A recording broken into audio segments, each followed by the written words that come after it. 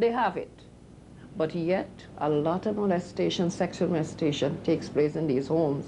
It's not reported because poor mommy goes into denial because that stigma that would be attached to her, having to leave her husband and leave all the material things that they have, the holiday abroad in France or wherever, the children could go anywhere. So she goes into denial. That poor child just sinks. It destroys the child either completely or the children come very rebellious and defiant and a, the whole family becomes dysfunctional.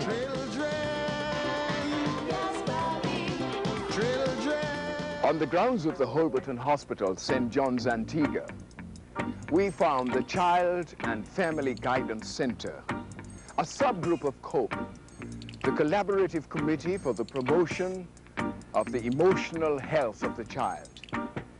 This we found rather innovative, something close to what was happening at Marion House in Kingstown, St. Vincent. When I think of child abuse, I think the thing that comes to mind is a child. I see a child who is being introduced to something that they cannot handle. A child's psyche cannot process uh, sexual activity with another person, particularly a trusted person.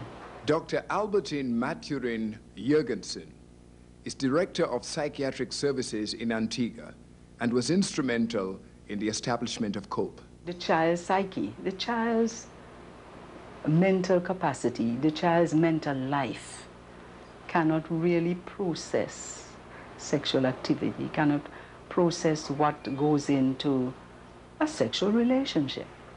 As a kid, I think sex is gross. You see people kissing and air. You just think of a child going through school.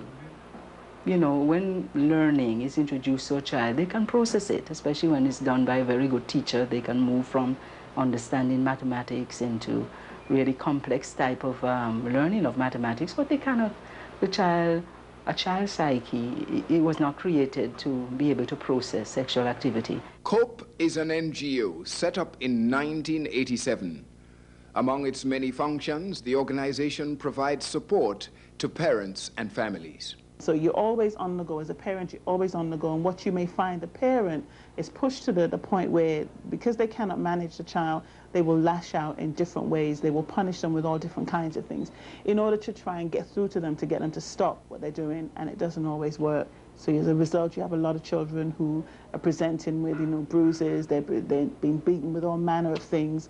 You know, we had a five-year-old, no, he was actually seven-year-old, who was admitted to hospital. The father had really lost it, and you know, he just beat him, he beat him, he beat him. His face was just really a mess. But that was, you know, was, the child has since been diagnosed as having attention deficit hyperactivity, but the, the, the parent needed help. Asta Allen works also as a counselor at schools. In my first week back at school in September, I think within the first week, I had, um, I think, two suicidals. Um, they just had enough. They couldn't take anymore. They just wanted to kill themselves. I had um, children who were being punished and were separated from their main family who they had known had been sent into a different culture as a form of a punishment. They were very distressed and, you know, couldn't manage the separation, didn't really know what to do. It was a new culture. You had children who didn't know how they were going to eat. You have a, a whole range of things. So I think that not a neglect and the physical aspects, I see that more so from the school's point of view. We do have quite a bit of that here at COPE, but we have more sexual abuse than we have the physical. Recently, a new sex culture emerged in Antigua, threatening the dignity of the child. For instance, the government has set up a committee to look into, it's a task force on child pornography and prostitution. And we have been, meet, I'm a member of that committee, and we have been meeting focus groups, right? And one interesting thing that I, will, will, I was impressed by, that the focus group for the elderly women, they explained to me, look, this thing is going on long, long, long time since we were a little girl. Children do not introduce themselves to pornography. This is adults sucking them into this activity. And I think that it's adults using children, you know, using children for their sexual satisfaction. I think that the people who commit commit these crimes should be disciplined, disciplined severely. What uh, we've heard rumors of is of young children after school being taken into various localities and places and um, maybe videotaped with their clothes off and in very provocative sexual positions. In Antigua, there is a group of women who call themselves POWA, P-O-W-A, the professional organization for women in Antigua and Barbuda. They gather here for meetings at the Island Inn in McKinnon's just outside St. John's. Allegations of a pornography ring in Antigua caught the attention of POWA's Kevin Mockerson, who shares a chronology of snippets with us. We began the chronology on the 15th of September 2001 when police hold two suspects for questioning in a case of an alleged pornographic and prostitution ring disguised as a modeling agency. It involved several underage girls. The nation was shocked by media reports that a 13-year-old victim had brought this matter to the attention of her aunt, who then reported it to the police. The laws of Antigua and Barbuda expressly prohibit media identification of alleged perpetrators and of sexual offenses. So we were not privy to not even a hint of who these people could be. Our national hero, Sir Vivian Richards, spoke out against the child sexual scandal. That day, that evening, POWA launched a petition to the Prime Minister to revise and strengthen the Sexual Offences Act so it could provide better protection for our children.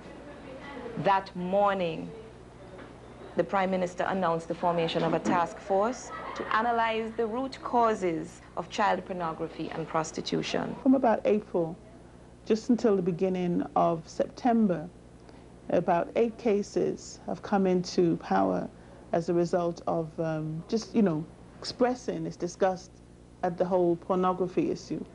And with those cases coming in, those eight cases have been reports from April to September, reports, and they've been followed through. Now, if one small NGO who does not specialize in that um, issue can get that many cases being called in, how much more established agencies over a period of a whole year? Why is it our records are showing the small amount of number? POWA met with the Prime Minister and his delegation, presented a petition with nearly 9,000 signatures. At this juncture, it is critical that Article 34 be repeated. Article 34 The state shall protect children from sexual exploitation and abuse, including prostitution and involvement in pornography. There was hope for POWA when on January 29th, Justice Ephraim Georges sentenced a 43-year-old father of 13 to 20 years in prison for committing incest.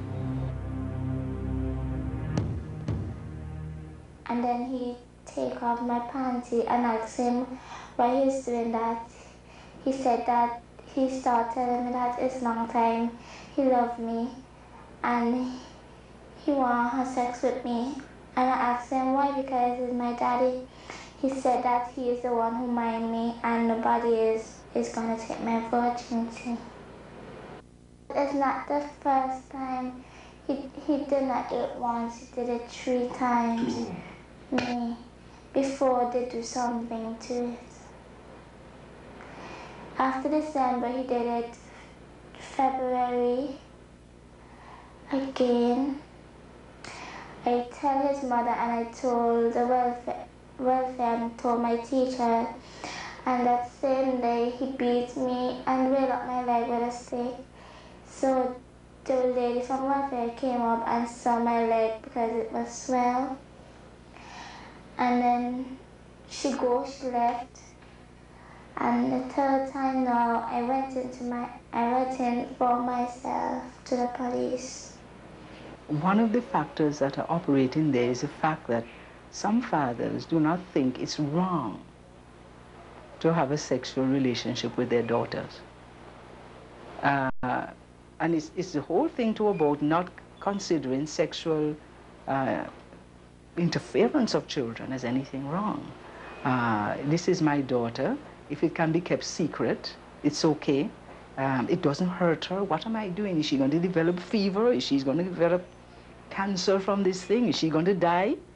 And so that is part of the reasoning behind it.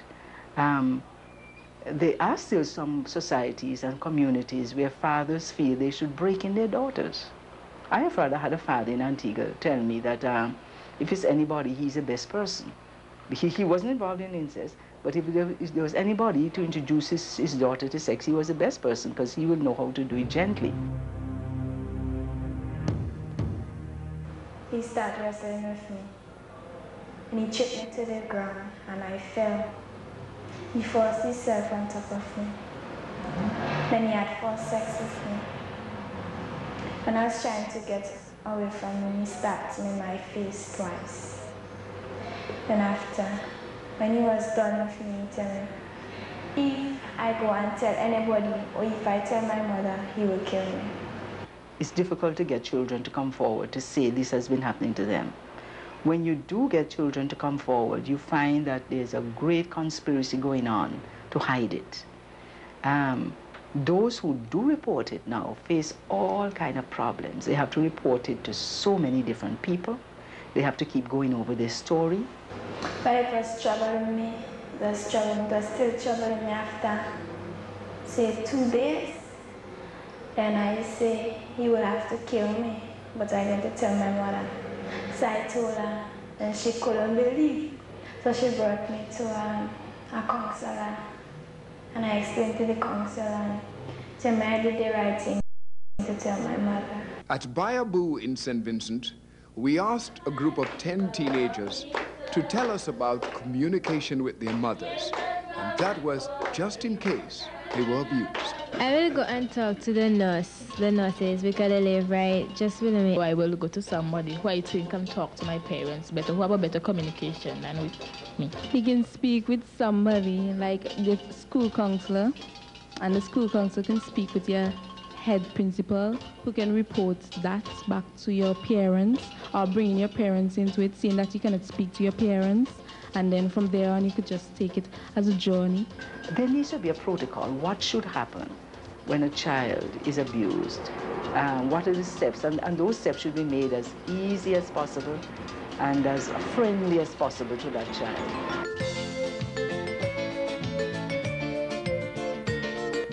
The question remains, what are the policies regarding the protection of the child?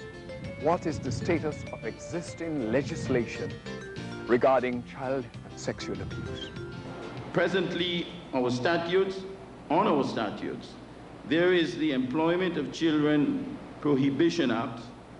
The Education Act also forbids children of school age from working instead of attending school. The Guardianship of Infant Act and Infant Protection Act speaks for themselves.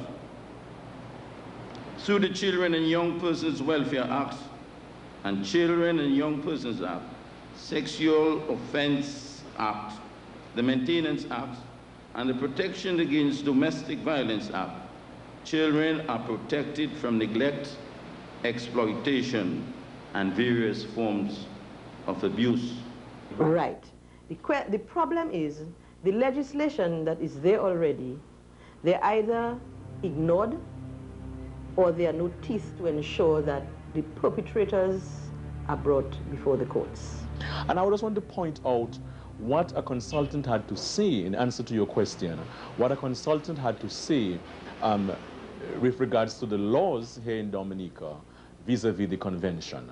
That consultant was uh, um, commissioned by UNICEF to do a study of Dominica's law laws vis-a-vis -vis, uh, the Convention on the Rights of the Child. And, and the consultant says this, in general, the laws of Dominica are in conformity with the letter and the spirit of the convention. However, there is a lacuna between the law, its practice, and its enforcement. The same could be said in the cases of Antigua and St. Vincent. When a child appears at the health center or even if she never went to the health center, at the hospital to have a baby. And the, the, the persons at the hospital, the nurse, the doctor, whomsoever, are looking after that child. And they become